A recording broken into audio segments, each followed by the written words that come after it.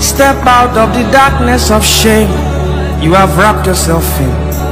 There is hope for a tree that is cut down, cause at the scent of water it shall spring back to life again.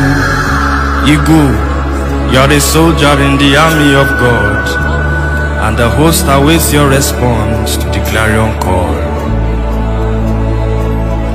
Can you feel the stirring? The stirring in your belly as your father calls out to you now.